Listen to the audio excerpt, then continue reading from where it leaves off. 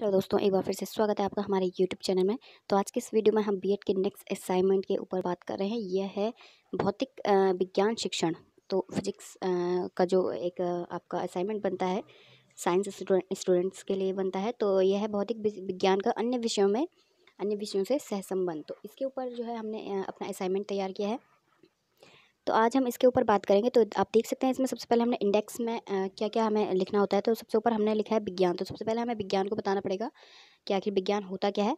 उसकी परिभाषाएँ हमने यहाँ पे बतानी है। नेक्स्ट जो है थर्ड स्टेप पे हमें लिखना है विज्ञान की प्रमुख शाखाएँ कौन कौन सी हैं। उसके बाद आपको मेन उस आपको उस पर आना है कि आपको कौन से मतलब फ़ाइल किस उस पर बनानी है। जो आपका सब्जेक्ट है उस हिसाब से आप भौतिक विज्ञान के ऊपर शिक्षण पे बनाना चाहते हो या फिर गणित शिक्षण पे बनाना चाहते हो तो इस तरीके से। नेक्स्ट जो है वो हम बनाएँगे भौतिक विज्ञान के ऊपर। फिर आ जाएगी कि भौतिक विज्ञान की प्रमुख शाखाओं पे शाखाएँ। उसके बाद आएगा सहसंबंध क्या आखिर होता क्या है। उसे हम डिफाइन करेंगे। नेक्स्ट उसके बाद आएगा भौतिक विज्ञान का अन्य विषयों से सहसंबंध, हमारा, अब जो है हमारा मेन टॉपिक आएगा। उसके बाद लास्ट में निष्कर्ष और सबसे लास्ट में संदर्भ ग्रंथ सूची। तो बस इतना ही ये इस फ़ाइल में आएगा तो आप देखते हैं हम इस फ़ाइल को किस तरीके से बना सकते हैं। तो यहाँ पे आप देख सकते हैं कि हमने सबसे पहले जो है साइंस को डिफाइन किया है। साइंस की हमने थोड़ा बहुत थोड़ी साइंस को हमने उसे बताया है क्या क्या होता क्या है। तो विज्ञान सब विधन ज्ञान से बना है, जिसका अर्थ है एक विशेष प्रकार का ज्ञान पुरस्कृत ज्ञान अथवा विशिष्ट ज्ञान है। यहाँ पे आप देख सकते हैं थोड़ा बहुत हमने डिफाइन किया है साइंस को एज अ ट्री के उस पर कि ये जो है यहाँ पे मेन साइंस है और इसके अलग अलग से इसके जो है ये निकले हुए हैं ब्रांचेज निकली हुई हैं। स्पेस साइंस हो गया अर्थ साइंस हो गया बायोलॉजी हो गया फिजिक्स केमिस्ट्री तो इस तरीके से हमने इसे थोड़ा डेकोरेट कर लिया है। नेक्स्ट जो है इसकी परिभाषाओं के ऊपर आते हैं। देखिए आप यहाँ पे हमने फोर इसकी परिभाषाएँ लिखी हैं। एक है इंसाइक्लोपीडिया के द्वारा है, दूसरी जो है वो आइंस्टीन के द्वारा है थर्ड जो है वो डेम्पियर के द्वारा है, और लास्ट जो है वो वुडबर्न एवं ओबॉन की के द्वारा यहाँ पर जो है, जो भी परिभाषाएँ बताई गई हैं साइंस के ऊपर, उसे हमने यहाँ पर लिखा है। इस, ये सब आपको गूगल में भी मिल जाएगा, अगर आप सर्च करोगे तो। नेक्स्ट जो हमारा थर्ड टॉपिक है इसके ऊपर वो है कि विज्ञान की प्रमुख शाखाएँ। तो यहाँ पे हमने सारी की सारी उन शाखाओं को लिख मैंने पूरा एक पेज में जितनी भी मेरी शाखाएँ आ सकती थी विज्ञान की, प्रमुख प्रमुख है मेन मेन जो भी उनकी ब्रांचेस आ सकती थी स्ट्रीम आ सकती थी, वो सारे मैंने यहाँ पे लिख दिए हैं। अंतरिक्ष विज्ञान हो गया, मत्स्य विज्ञान, पक्षी विज्ञान प्रकाशिकी तो इस तरीके से सब कुछ मैंने लिख दिया है। कहीं कहीं यहाँ पर मैंने भौतिक विज्ञान भी लिखा होगा। तो सब है यहाँ जीव विज्ञान, वनस्पति विज्ञान, रुधिर विज्ञान तो इस तरीके से मैंने और भी हैं इसमें, और भी ज़्यादा विज्ञान और भी ज़्यादा इसमें शाखाएँ थी, पर मेरे, मैंने सिर्फ़ एक पेज में मेरी जितनी आई हैं, मैंने सिर्फ़ उतनों को ही मेंशन किया यहाँ पे। नेक्स्ट जो है, वो है फ़िज़िकल साइंस के ऊपर। अब हम बात कर रहे हैं कि मेन जो है फ़िज़िकल साइंस के ऊपर क्या होता है तो भौतिक विज्ञान को हमने यहाँ पे डिफाइन किया है कि भौतिक विज्ञान अथवा भौतिक शास्त्र, प्रकृति विज्ञान की एक विशाल शाखा है।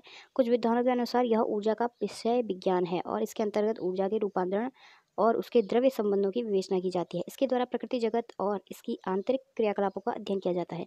जैसे काल, स्थान, प्रकाश, गति, ऊष्मा, विद्युत, प्रकाश, द्रव्य और तथा ध्वनि इत्यादि। तो इस तरीके से हमने थोड़ा जो है भौतिक विज्ञान को डिफाइन कर दिया है। यहाँ पे जो है ब्लैक पेन से हमने लिखा है क्योंकि कुछ मेन होगा। जैसे विज्ञान की जिस शाखा के अंदर, अंतर्गत प्रकृति व से इसकी घटनाओं का अध्ययन किया जाता है, उसे ही भौतिकी कहा जाता है। और द्रव्य, ऊर्जा तथा उनकी अन्योन्य क्रियाओं के वैज्ञानिक अध्ययन को भौतिकी कहते हैं। तो ये दो चीज़ों को हमने मेन तरफ़ से मेंशन किया है इस पर नेक्स्ट जो है, वो है भौतिक विज्ञान की प्रमुख शाखाएँ। अब जो मैं जो है फिजिक फ़िज़िकल जो साइंस होता है, उसकी जो है मेन शाखाओं की बात करते हैं तो इसमें मेन शाखाएँ दो हैं। इसमें पहला है आधुनिक भौतिकी और दूसरा है चिर चिर सम्मत भौतिकी। तो यहाँ पे आधुनिक भौतिकी को हमने थोड़ा डिफाइन किया है और चिर सम्मत भौतिकी को हमने थोड़ा डिफाइन किया है कि किसके अंदर क्या क्या आते हैं। तो भौतिक आधुनिक भौतिकी के अंदर आते हैं परमाणु भौतिकी हो गया क्वांटम भौतिकी, मध्याकार भौतिकी, नाभिकीय भौतिकी, आपेक्षिकता का सिद्धांत और विश्व विज्ञान एवं अंतरिक्ष अन्वेषण। तो और चिर सम्मत चिर सम्मत पे आता है हमारा यांत्रिकी, विद्युत विद्युत चुंबकत्व प्रकाशिकी ऊष्मा तथा गतिकी ध्वनि एवं तरंग गति की गति। नेक्स्ट जो है, अब हम यहाँ पे आते हैं जो है मतलब मेन जो को रिलेशन होता है सहसंबंध तो उसे हमने थोड़ा डिफाइन किया कि आखिर होता क्या है। तो जैसे लिखा है कि सहसंबंध का अर्थ है दो या दो से अधिक तथ्यों के मध्य संबद्धता की दिशा एवं मात्रा। जहाँ तक शिक्षण विषयों के मध्य सह संबंध का संबंध है, इसका अर्थ होता है कि दो या दो से अधिक विषयों के ज्ञान को परस्पर संबंधित करना। किसी एक विषय को पढ़ाते समय उसके तथ्यों को दूसरे विषयों के साथ संबंधित करते हुए पढ़ाया जाए तो वह दोनों विषयों के लिए, के मध्य क्या होता है, शिक्षण का सहसंबंध कहलाता है।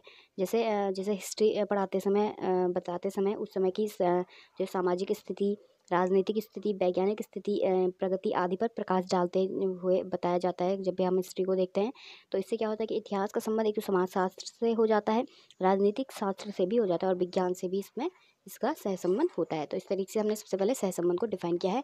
उसके बाद हमने भौतिक विज्ञान के अन्य विषयों से सहसंबंध बताए हैं। तो सबसे पहले हमने यहाँ पे भौतिक विज्ञान का इतिहास से सहसंबंध बताया है। आप देख सकते हैं, ये नॉलेज, जानकारी आपको कहीं भी मिल जाएगी गूगल में। अगर आप सर्च करोगे तो इतिहास है वह कि भौतिक विज्ञान व इतिहास के बीच में क्या सहसंबंध होता है? नेक्स्ट जो हमने लिखा है वो भौतिक विज्ञान एवं गणित के बीच में सहसंबंध है। आप यहाँ पर देख सकते हैं और जो पेज को हमने थोड़ा डेकोरेट किया है वो क्रेन से। नेक्स्ट जो थर्ड है वो भौतिक विज्ञान एवं भूगोल के बीच का हमने सहसंबंध बताया है। फोर्थ नंबर पे हमने भौतिकी एवं कला को का भी सहसंबंध बताया है। फिफ्थ में हमने भौतिकी एवं क्राफ्ट पर भी हमने सहसंबंध बताया जो भी हम मॉडल वगैरह बनाते हैं तो क्राफ्ट के थ्रू ही बनाते हैं हम किसी भी चीज़ को। तो नेक्स्ट जो है वो भौतिकी एवं संगीत के ऊपर भी हमने जो है सहसंबंध यहाँ पे बताया। तो बेसिकली हमने यहाँ पे छः विषयों के साथ भौतिकी का सहसंबंध बताया है। नेक्स्ट जो लास्ट है वो है निष्कर्ष। तो निष्कर्ष में आप देख सकते हैं, हमें थोड़ा बहुत बताना होता है कि हमने जो भी हमने जानकारी हासिल की है या फिर जो भी हमने असाइनमेंट में अपने ली है जानकारी, उसके बारे में हमें थोड़ा बताना होता है कि विज्ञान शब्द का अर्थ है एक विशेष प्रकार का ज्ञान, पुरस्कृत ज्ञान, इस तरीके से बता दिया और फिर यहाँ पे थोड़ा सहसंबंध को इस तरह से डिफाइन कर लिया कि इस प्रकार विज्ञान का सहसंबंध इन विषयों से होता है। किसी एक विषय को पढ़ाते समय उसके तथ्यों को दूसरे विषयों के साथ संबंधित करते हुए पढ़ाया जाए तो वह उन दोनों विषयों के मध्य शिक्षण को सहसंबंध कहलाता है। तो इस तरीके से हमने निष्कर्ष डिफाइन कर लिया और लास्ट में हमने लिखना है संदर्भ ग्रंथ सूची।